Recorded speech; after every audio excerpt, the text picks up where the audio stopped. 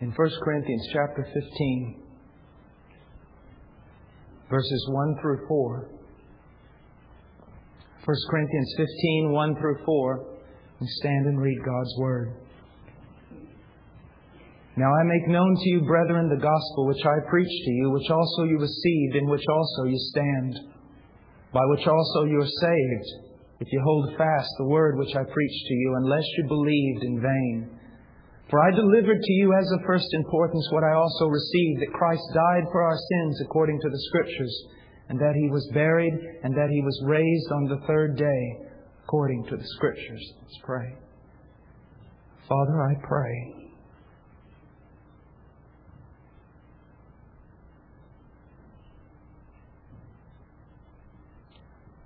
Lord, to sustain this preacher in the midst of an impossible task to preach the gospel of your dear Son. Open up the hearts, Lord, that they might receive. In Jesus' name, amen. You may be seated. We studied verse 1 and 2 this morning, and verse 3 For I delivered to you as of first importance.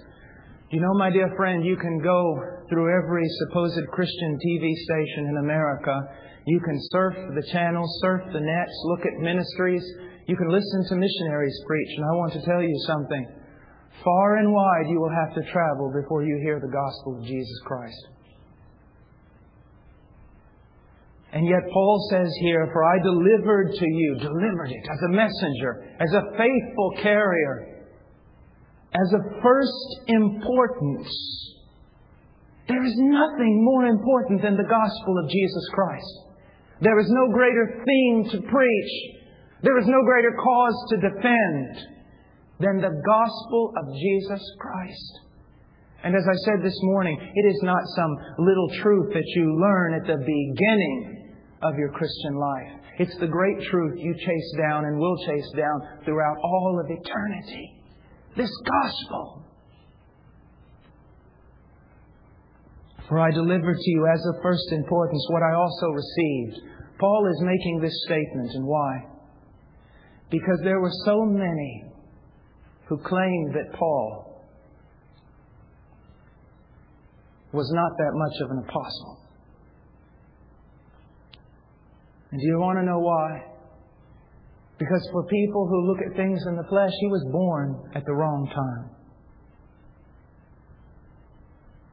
He wasn't in the inner circle at first. And if church tradition tells us anything, he didn't look like the man that you would want in your pulpit. Some say, I've, I've heard scholars say that it has been supposed that maybe he was four foot nine, bow legged, very large nose, and not a hair on his head. We understand from different passages in Scripture he seems to be a sickly man. Not someone you want to build a big church around. Beware whom you choose to fill this pulpit. Appearances are very deceiving. I preached one message and a lady came to me and said, Surely you are a man of God. And I said, Surely you are a woman who does not read the Bible. With one sermon, you'd lay a mantle on a man? Paul would have never been asked here. He had no great speaking ability, but he delivered the message. And he was faithful to that call. He said, I delivered to you as of first importance. The one thing that I love about Spurgeon is that when the gospel message was crumbling around him by so many preachers that turned their back on the truth of Scripture, he stood there like a beacon.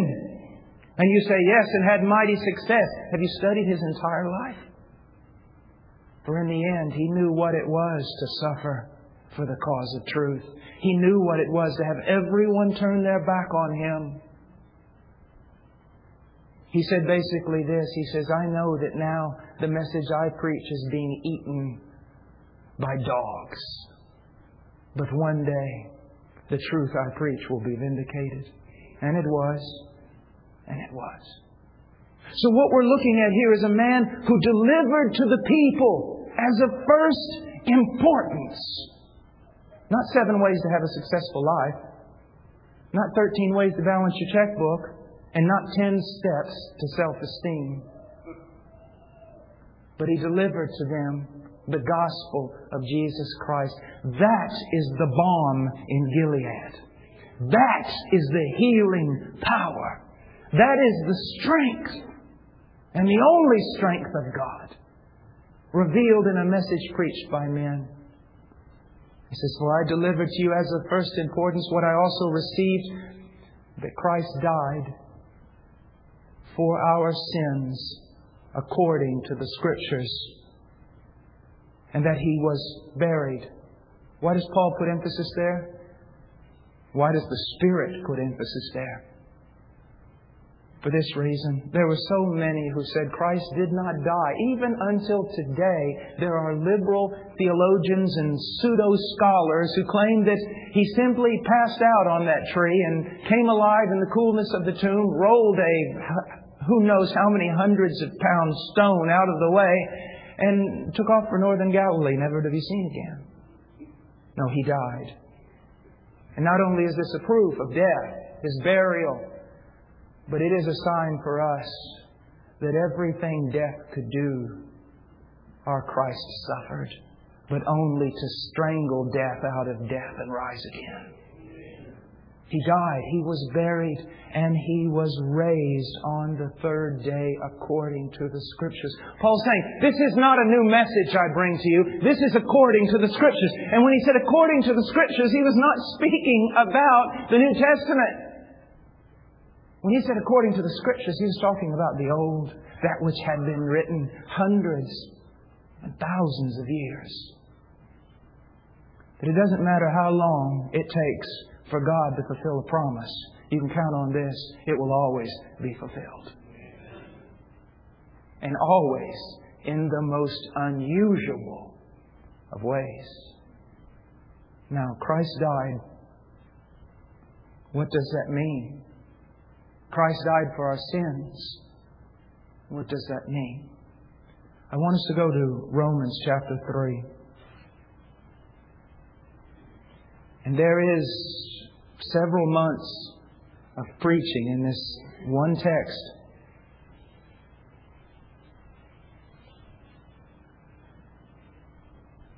Romans chapter 3, verse 23. For all have sinned and fall short of the glory of God. All have sinned that doesn't terrify you. It should. As the Puritans would say, you have not sinned against some inferior prince. You have not broken the laws of some, some domestic governor. You have not violated the rules of a tiny mayor of a small village in a strange place. But you have rebelled against the very Lord of glory. Man asked me one time, a reporter, he said, Why at this, these meetings you're always telling the people to be afraid? Because they ought to be afraid. There are some things, sir, that you should fear. The extent of our sin, how vile is it? How can we know? We're a people of unclean lips and we dwell among a people of unclean lips. Sin around us, men drink it down like it was water. It's the common practice of the day. Commercials are based on sin. Marketing strategies are built upon sin. Revel in sin, laugh at sin, love sin. What is it to rebel against God? On the day he stood, on that first day of all days, he said, Stars, put yourself there and move in this direction until I give you another command. And they bowed their head and said, Yes, sir. He said, Planets, put yourself to this spin and dance to my song. They obeyed him with trembling. He said, Mountains, be lifted up and valleys cast down. See, you will only go this far. Yes, sir. And then he looks at you and says, Come. And you go, No. The vileness of sin will never be understood by man at least in this century. The sinfulness of sin, as the Puritans would say. The lunacy of sin. The insanity of sin. All words used by theologians down through the ages. And they don't even begin to tell us the vileness of sin all have sinned and fall short of the glory of God. It is very common to take this passage today and, and make it so man centered. Fallen short of the glory of God. To many today, that means that God had this marvelous purpose and this marvelous design and this wonderful image of us, and that we have fallen short of all the great things we could have been. That's not what this passage means. Because you define a passage, its meaning in the context of the passage fallen short of the glory of God. What does it mean? Listen to this. For even though they knew God, they did not honor Him as God. Fallen short of the glory means that you were made for God. And you only find meaning and you only find life in serving that purpose. You were not made for any other reason and to rip yourself out, to dislocate yourself from the purposes of God and try to be something you were never created to be will only leave you in futility. And that's where we see most people today. And even most people who identify themselves Christianity. Have you ever noticed we are the wealthiest, most protected group of Christians in the history of Christianity, and yet you go into a Christian bookstore and half the books there are written about how empty we are. And why is that? We are empty for the same reason. Jesus Christ was never empty. He had food to eat that we know not of. His food was to do the will of His Father who sent Him.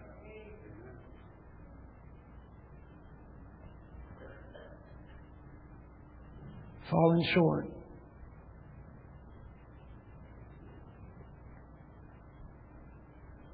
I was born in the country. I do things like someone in the country. I'm a hunter. I make my own bows that I shoot with. You can, you can take down an elk with a bow I make, but you can't play a song on it. It makes for a great hunting weapon. It makes for a terrible, terrible instrument for music. But it wasn't made for that, was it? And to try to play music on one of my bows, you would just be frustrated. You would end just pitifully. Or you weren't created for doing many of the things you're doing.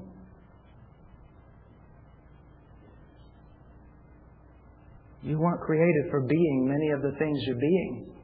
You were created for Him, for Him, and only for Him. Everything for Him. All have fallen short of the glory of God. Now, in verse 24, being justified this is the thing of every religion. Being justified. What does it mean? How can someone be declared right before God? Isn't it amazing that every religion in the world asks this question? How can a man be declared right before God? That automatically tells us that every man in the world has a guilty conscience. We know something's wrong. We can put it out of the back of our minds. We can do everything to stomp it out, but it is there. We know we are not right. And we know that somehow we have to be made right. That's what this means. Being justified. Speaking about believers, they are justified. Now, what does that mean? Does it mean that believers are righteous? No. To say a man is righteous is to say that man is sinless. That man is perfect. There's not a righteous man in that sense in this room. But when the Bible talks about righteousness or justification, it is talking about forensic justification, legal justification. God has declared you to be right legally in the courts of God, in the mind of God. You, if you are a believer, you have been declared right with Him. That's what it means. It's a legal declaration. I desire to be righteous. I desire to be holy. But I'm not. I still sin. I still have wayward thoughts. I still have need of brokenness and repentance. I hunger and thirst for righteousness. But I'm not completely satisfied, but I am declared righteous before God. He says, being justified as a gift by His grace. Now, this is redundant. He's saying being justified basically as a gift, as a gift, as a gift, as a gift, as a gift. Now, why is that? I'll tell you why. Men hate grace. What is grace? Unmerited favor. Men hate it. You think, hold on, why would anybody hate grace? I'll tell you why. To receive grace is to acknowledge need. To acknowledge need is to humble yourself before God. And that's one thing men do not want to do. If you were to open the doors of hell at this very moment and promise every man there a free trip out of hell forever, if only they will bow their knee to God, they would slam the door in your face and stay in there. That's how much men hate God.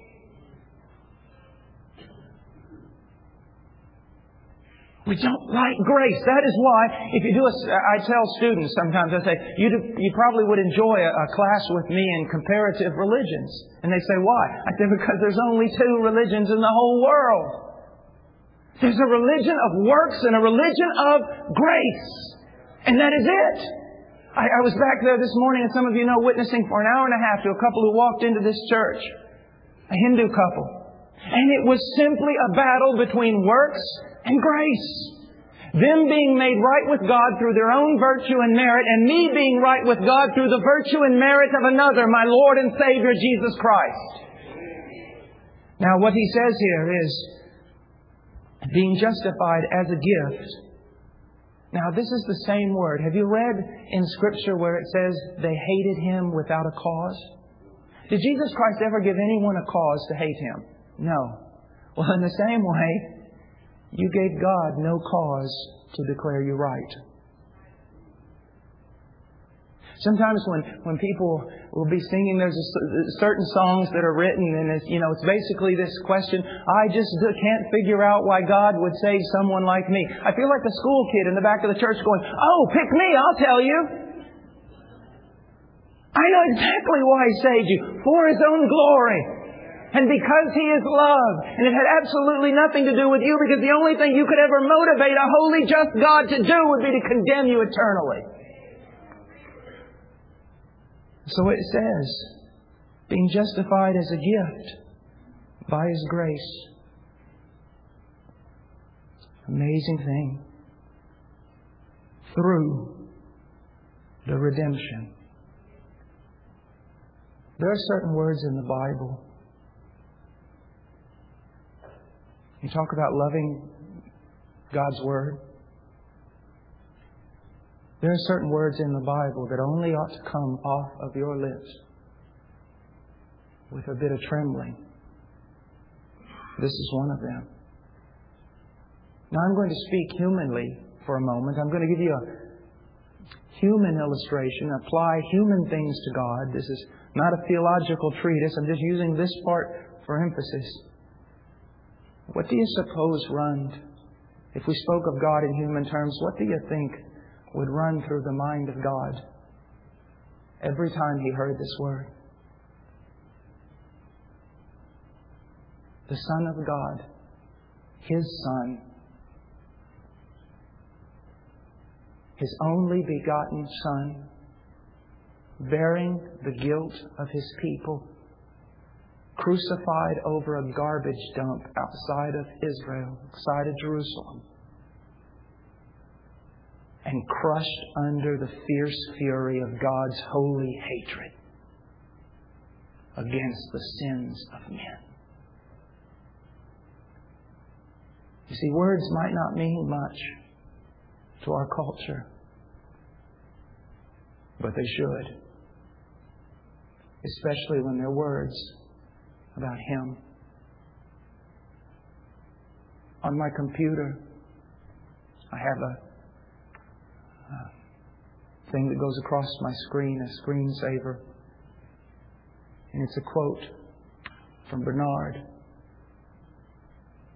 Every conversation that doth not have Christ as its theme is absurd. You say, should this be so consuming? It should be all consuming. Everything you do, whether you eat or drink or the most menial of tasks, you do it all for the glory of Him. And He bears that right on you by creation and by redemption. Not only has He made you, He has bought you, and not with silver or gold, not with vain things of our fathers, not with sacrifices, not with the blood of bulls and goats, but He has purchased us with the blood of His only begotten Son. Redemption. It means more than deliverance. A liberal theologian will tell you it means deliverance, but it means deliverance through the payment of a price. The satisfaction must be given. Now, this is redemption which is in Christ Jesus. You've ever read, read the first 14 verses of Ephesians?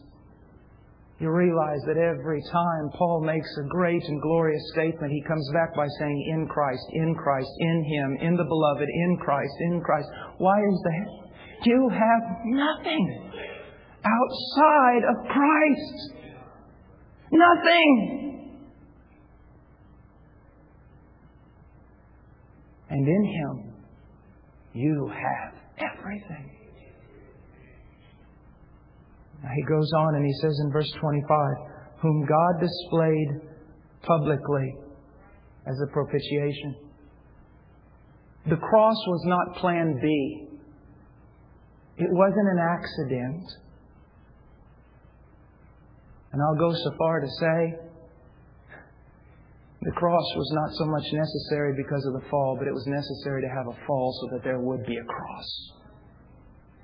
Because only through the cross of Jesus Christ is the glory of God revealed in such a way that it astounds angels. The cross is not a focal point in history. It is history. It's everything. Absolutely everything. And it was the will of God. God decreed it. God predestined it. God elected it. It was His doing. Yes, by the hands of wicked men. Yes, but according to not only foreknowledge, but a predetermined, glorious decree. Now, whom God displayed publicly. Why? Why publicly? He could have put this thing in a closet. He could have done this great work in the wilderness. Why is it that Christ was portrayed at the crossroads of the greatest religious city in the world being hung over a garbage dump? What is God's purpose? Because God, through the cross, is going to reveal something about Himself. And every time He does that, it must be center stage. We are going to learn some things about God through the cross that we could learn no other way. And not only that, but in the cross of Jesus Christ, God. You've always heard how through the cross God justifies man. Well, then listen to this. Through the cross, God justifies himself. The word that Martyn Lloyd-Jones used, through the cross, God vindicates himself. Now, what do we mean? Propitiation. Now,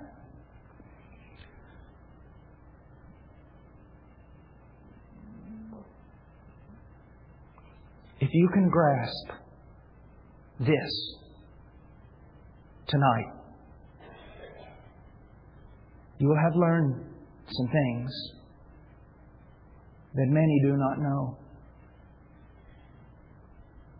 The why of the cross, the reason for the cross, the what happened at the cross, propitiation. What does it mean? A sacrifice that enables a just God to be merciful. Now you say, I don't fully understand the problem. I want you just to listen. Just, just listen to something. I'm going to show you the greatest problem in the entire Bible. Yea, it is what the entire Bible is written about. This is it. If you want to know the center, the Acropolis, everything, it's right here. Now just listen. I'll give you the verse in a moment. Just listen. He who justifies the wicked and he who condemns the righteous, both of them alike are an abomination to the Lord. Now, let me shorten it.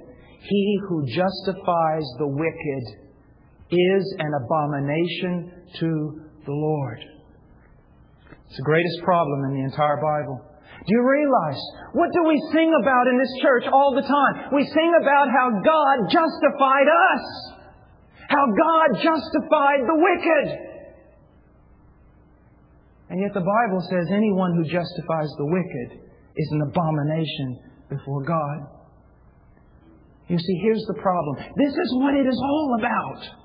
And if you miss this, you miss the cross. It's what it is all about. If God is just, He cannot forgive you. If God is just, He cannot forgive you. Let me give you a horrid example. Let's say that you go home tonight and find your entire family slaughtered on the floor and the assassin is standing over them with blood on his hands. And you throw the man to the ground and you carry him off to the police and the police present him before the judge and the judge looks down upon this horrendous criminal, this fiend, and says, I'm a loving judge. I pardon you. Go free. What would be the response coming out of your mouth?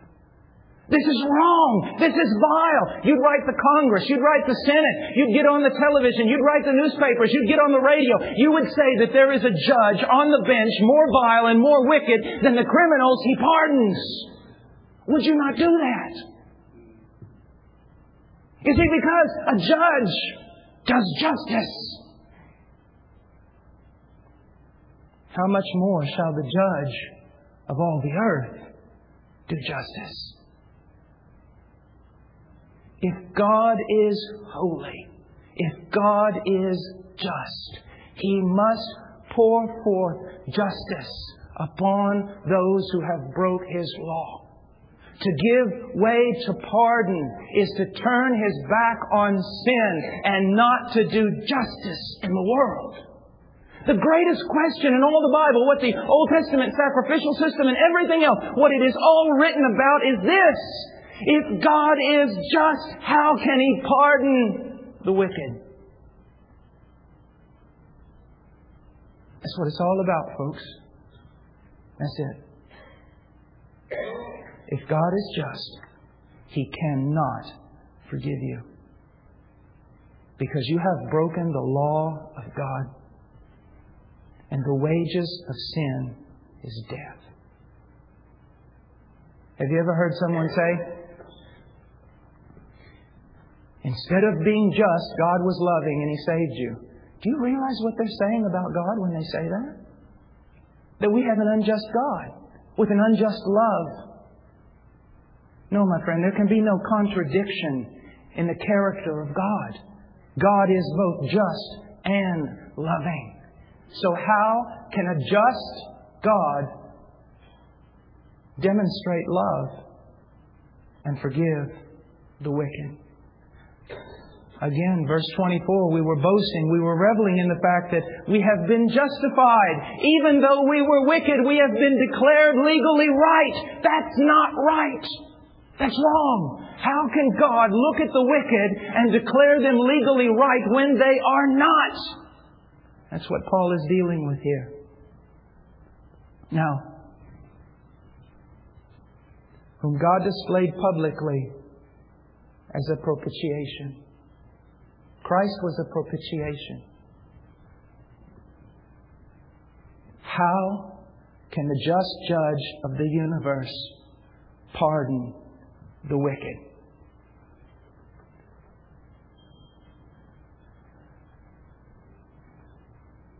by taking off his robes of glory and becoming a man and living a perfect life on this earth. The Son lived in perfect submission to the law and will of God. And then going to a cross. And on that cross, He carried the guilt of His people. And then, and listen to me carefully, the Son of God was crushed under the wrath of His own Father. It was a great disturbance when the movie The Passion came out. I don't know how many emails I got from pastors and theologians and such that were either some for it, many against it. Well, I have no bones to pick with anybody. But it doesn't matter how true the film, I didn't see it. It doesn't matter how true the film might have been. It cannot demonstrate to you the pain of the cross.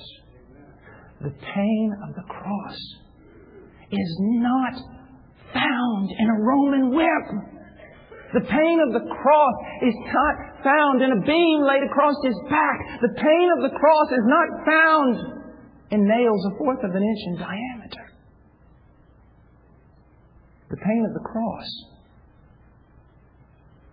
is that the Son died there forsaken of His Father and under His own Father's wrath, carrying the sins of a wicked people. Let's go to the garden for a moment. Just think about this. Jesus Christ is in the garden. He says, Let this cup pass from me. Let this cup pass from me. Father, let this cup pass from me. I've heard so many preachers say, Christ trembled at the fact of being crucified. Christ trembled at the, at the fact of being thrown off to the Romans, to be beaten, to be, to be hung on a tree. Rubbish! Let me tell you something. Is our captain not greater than the ones who follow him?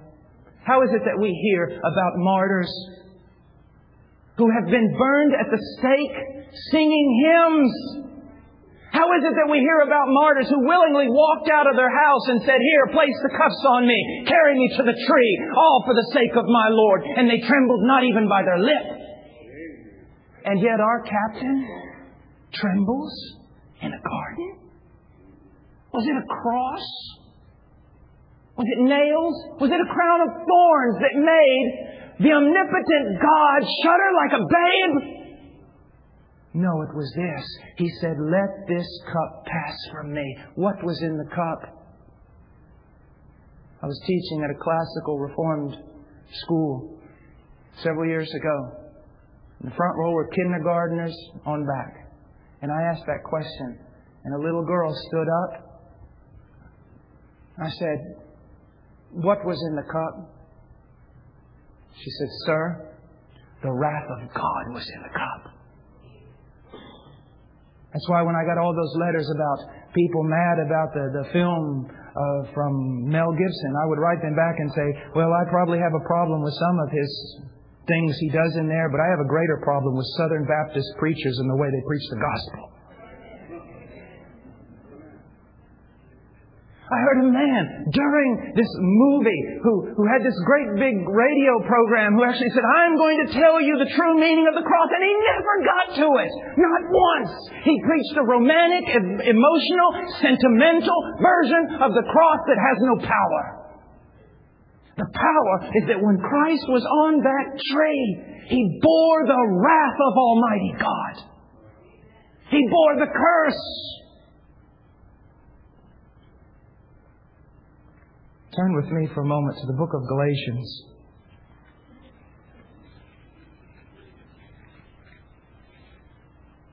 Chapter 3, verse 10.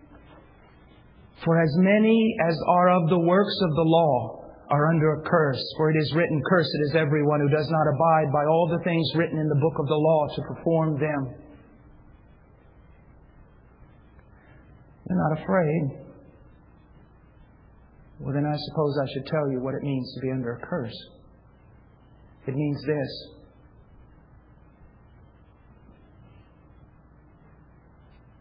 That if you are not converted, you are so vile, so loathsome, so detestable, not only before a holy God, but a holy heaven. That the last thing you will hear when you take your first step into hell is all of creation standing to its feet and applauding God because He has rid the earth of you.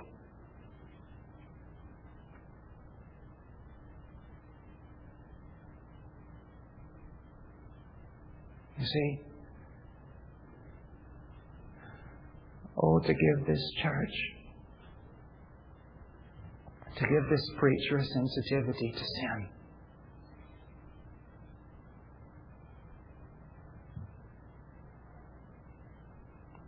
Are you shocked?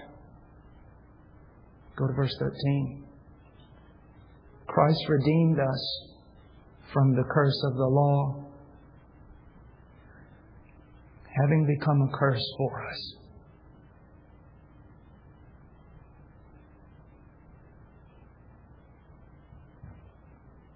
Do you understand what I just read? You were shocked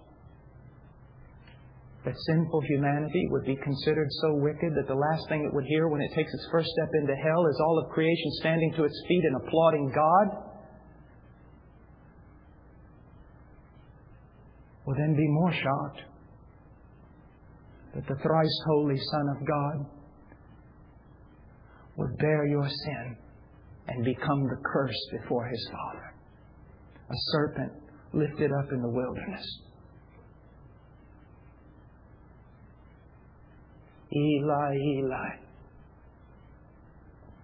lama sabachthani. My God, my God, why have you forsaken me? Do you not understand what he just said? Are you like the liberal theologian that says Christ at this moment realizes he's not the Christ and gives his last cry of despair before he dies? Or are you a true believer that realizes that in order to be a true believer, in order to be a child of God, the Holy Son of God was forsaken by his Father and then crushed under his own Father's punishment. You say, Oh, Brother Paul, you've gone too far now. Have you not read Isaiah 53:10? It pleased the Lord to crush him. Take a 10,000 pound millstone and put another on top of it. Put a grain of wheat between them and see what you've got when it comes out on the other end. Take a dam a hundred thousand miles high and a hundred thousand miles wide, and have it break in front of you. And as the, the torrent of water rolls down towards you, to engulf you, to destroy you, all of a sudden the ground opens up and drinks it down, and not one drop splashes to your feet. And so Christ raised his hand up to heaven and took the wrath of God, that great cup, and drank it down. When he cried out, It is finished, he turned it over and not one drop came out. He drank the wrath of God and satisfied justice and appeased wrath, and therefore God can now be just and justify the sinner. This is what He's done. This is what He has done. Go to Psalms 22 for a moment.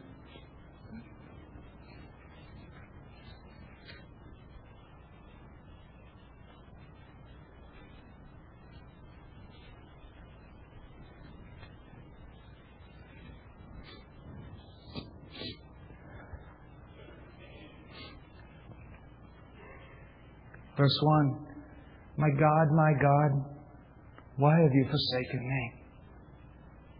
Far from my deliverance are the words of my groaning. Oh my God, I cry by day, but you do not answer, and by night, but I have no rest. This is the complaint of the Messiah on that tree. You see, you and I have lived so much out of the presence of God. We're not like the Son in the very bosom of the Father. And to be ripped from that bosom. To have that eternal, beautiful vision darkened. That's his complaint. And then in verse 4, he gives an argument. In you our fathers trusted. They trusted and you delivered them. And to you they cried and were delivered. In you they trusted and were not disappointed. There has never been a time in the history people, history of the covenant people, Israel, that a righteous man has cried out to God and God has turned his face away. And the son says, But I, your son, I hang on a tree. My God, my God, why have you forsaken me? And then he gives the answer. Verse 3 Yet you are holy. Verse 6 But I am a worm.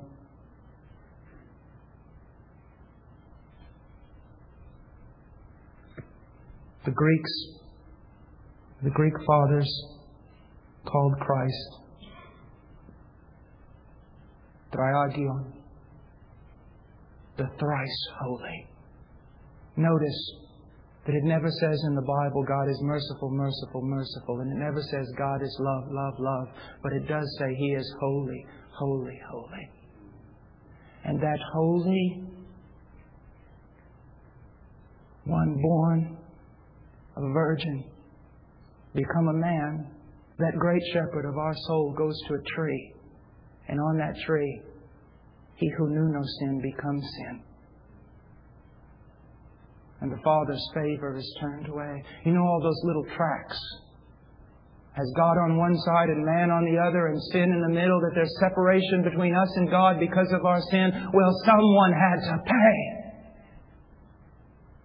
And so Christ died,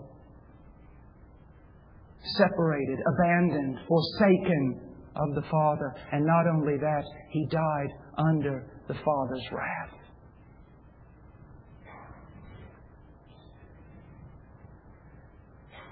Who can die for us? Are the blood, is the blood of bulls and goats sufficient? The one who died for us had to be a man of like nature, of those who committed the crimes.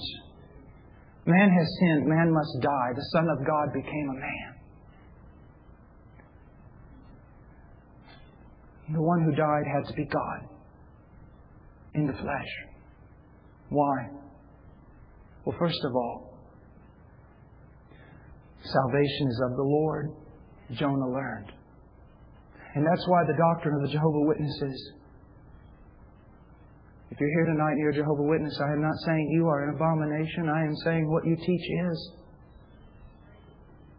That's why the doctrine that Jesus Christ is nothing more than a mere creature is such an abomination. Because if He is a mere creature, then our Savior is not God and salvation is not of the Lord. Why did he have to be God? Who else but God can withstand the wrath of God? Mountains turn to wax. Man one time said, I won't bow before him. The man who's been such an influence in my life looked at him and said, Son, you will melt before him like a tiny wax figurine before a blast furnace. Who else but God could withstand the wrath of God, drink it down, and rise again? Another thing, who else has life to give? You say, Well, I would lay down my life. It's not yours. It's borrowed. Go to an angel. Ask him the source of his life. It's borrowed. Only Jesus has authority to lay down a life, and Jesus has authority to take it back up again. And then, my favorite, I almost trick students into asking me this. I love it when some college student pops up and says, How can one man dying for a few hours on a tree save a multitude of men from eternal destruction? You want to know how? Because that one man on that tree was worth more than all the others put together. You take everything that there is, everything in existence. You take crickets and clowns and moles and mountains and stars and galaxies and planets and trees and rocks and dust. You put it all on the scale. Put Jesus on the other side and he outweighs them all. That's how that one who died was of infinite worth and his sacrifice is of infinite power. He died. Yea, he died.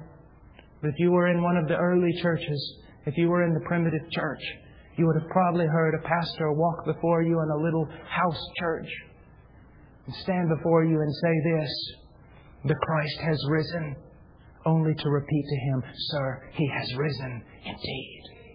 One of the great problems in Christianity today is that we're not preaching the cross and then we turn it back around and we're not preaching the resurrection either. He has risen indeed. I will dance. As the Irish would say, I'll dance a fine jig on the lid of that box they put me in one day.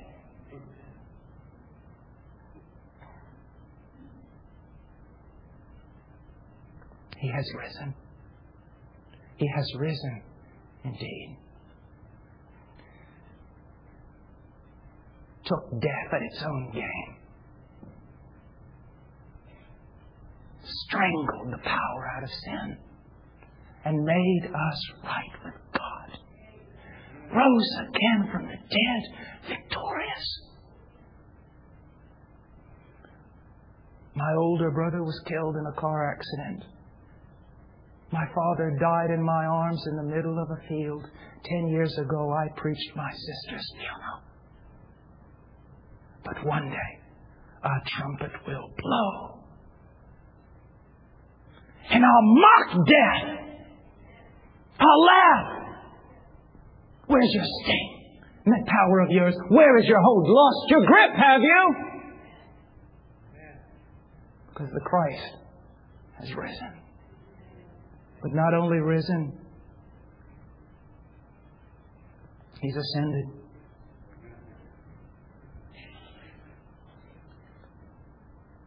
Look at Psalms 24. This is called an ascension psalm. Psalms 24, verse 3 Who may ascend into the hill of the Lord and who may stand in his holy place? Modern vernacular Who can go to heaven? Who can go to heaven? You want to know who can go to heaven? Well, I'm about to tell you. Verse 4 He who has clean hands and a pure heart. Anyone here qualify? who has not lifted up his soul to falsehood and not sworn deceitfully. Anyone here qualified? No. I give you the desire to repeat the words of Job. Oh, that there was someone, an umpire, a mediator, who could lay his hand on us both. Job, don't despair. There is one who has died and yea, has risen. And then, 40 days after, he ascended. The early church fathers used verse 7 through 10 to describe that ascension. Now, remember in, when Paul writes to Timothy, he says, There is one mediator between God and man, the man Jesus. Now look, he says man. He's not denying the deity of Jesus Christ. He's just making a point. Man has sinned. Man must die. And the one who lays his hand on us both must be God and man. And there must be a man, a second Adam, one greater than Adam, that does what Adam cannot do and brings restoration. There must be a man who can go there for us. Christ ascends. It's heaven as usual on the other side of those gates. Heaven as usual. And then all of a sudden, everything in heaven is stopped. Because outside those doors, they hear this. Verse 7 Lift up your heads, O gates, and be lifted up, O ancient doors, that the King of glory may come in. And all of a sudden there is a reaction. Who is this? No man has ever approached these gates. No man has ever dared lay his hand to the latch. Who is this King of glory? And then they hear an answer back. They say, Who is this King of glory? And they hear the Lord strong and mighty, the Lord mighty in battle. Lift up your heads, O gates, and lift them up, old ancient doors, that the King of glory may come in. And for the first time in history of history, those doors are opened. And Christ, the man, Can you imagine that day? Oh, hail the power of Jesus' name. Let angels prostrate fall, bring forth the royal diadem and crown him Lord of all. Every angel in heaven. Everything that can't, we can't even begin to imagine. It falls before the Christ in worship. The vicar of God has come. imagine when he walks up to his father? His father looks. Take your seat. Father, my seat I will take. Son, is it finished? Father, it is finished indeed. And this same Jesus who was crucified, who died in weakness, one day a trumpet will call. And the dead in Christ will rise. And then we who are alive and remain will meet him in the air.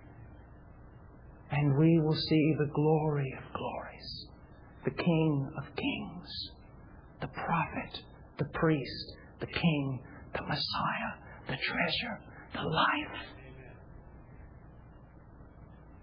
And that will not be our end. It will be our beginning. Now, what are you called to do?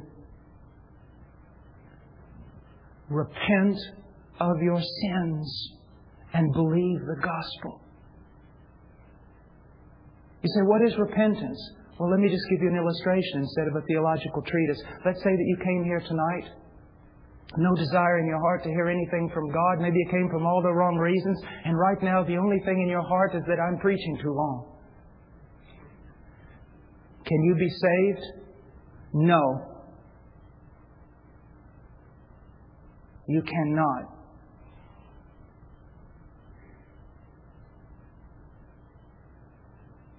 And if you remain in this condition, you will die in your sins and you will go to hell. Without repentance, there is no salvation. Or maybe you came here tonight, you had no thought of anything of God in your heart at all. You cared not for the things of God, the Word of God. You just wanted to get through the worship and through the message. But maybe as the worship was going on, your heart was somehow strangely warmed, and you began to hear a voice within a voice. Yes, my dear friend, that can happen in worship. And then when the preaching came, it was like an iron. It was like a call. It was like a beacon.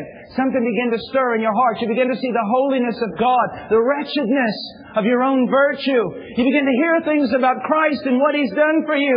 And the only thing you can think about right now is, I will do absolutely anything to be saved. That is repentance. You lack one thing. Believe on the Lord Jesus Christ and you will be saved. Believe on the Lord Jesus Christ, and you will be saved. Now, the Puritans spoke a lot about repentance, not only from sin, but repentance from good works. You say, what do you mean? There is a real sense in which repentance is simply this you give up from trying to justify yourself, you just quit. You see that every one of your most righteous deeds is nothing more than filthy rags, and you detest them, and you throw them to the floor, and you stand there before God and say, Unless you move on my behalf, I am damned. And you believe. You believe. You trust. There is a deacon in my church back home little church in the middle of a cornfield.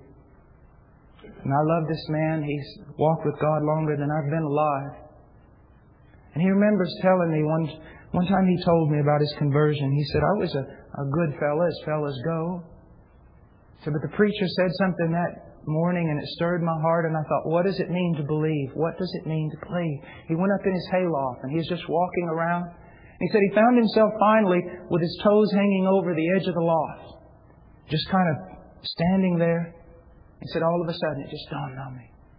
This is what he said Lord, I am going to trust, place my confidence exclusively, only in what your Son has done for me. And if that very thing, if what He has done for me is not strong enough to save me, then I will go to hell because I will not trust in another thing. Right now, if this preacher died, he would go to heaven.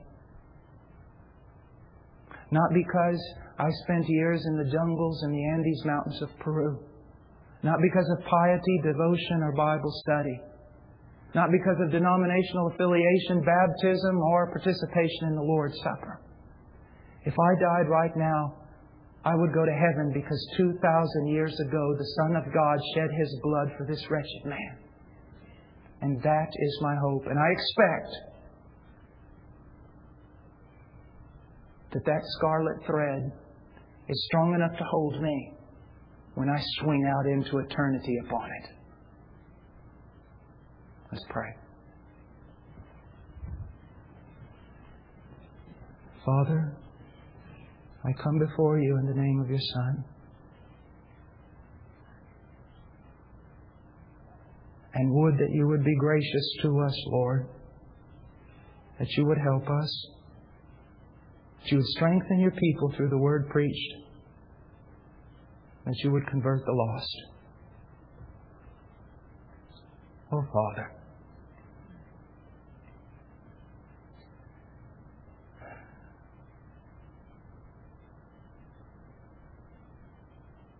No one will ever preach your Son he ought to be preached. The King of Zion is simply too glorious. In Jesus' name, amen.